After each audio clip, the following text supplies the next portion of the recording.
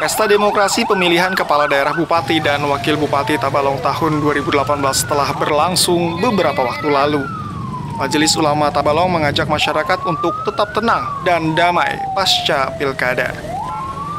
Ketua Majelis Ulama Tabalong, Kiai Haji Rashidi Amin meminta masyarakat Tabalong untuk tetap bersabar menunggu hasil perhitungan resmi dari Komisi Pemilihan Umum Tabalong. Rashidi Amin menghimbau siapa pun nantinya terpilih menjadi bupati dan wakil bupati Tabalong lewat perhitungan final oleh KPU dapat merangkul seluruh lapisan masyarakat. Pasalnya, selama proses pelaksanaan pilkada terjadi berbagai perbedaan, baik perbedaan pilihan paslon maupun perbedaan sikap dan pandangan politik.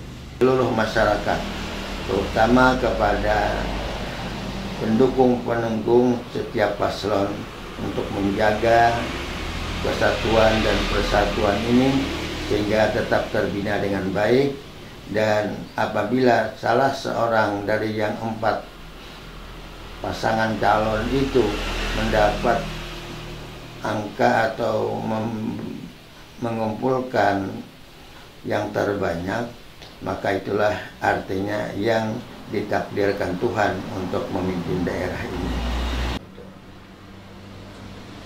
Ketua MUI Tabalong ini pun turut mengapresiasi kinerja penyelenggara pilkada baik KPUD, Panwaslu, Bawaslu, dan aparat keamanan yang sudah menjalankan tugas dan fungsinya dengan baik dan profesional, sehingga pilkada berjalan dengan tertib dan aman. Syarif Hidayat, TV Tabalong, melaporkan.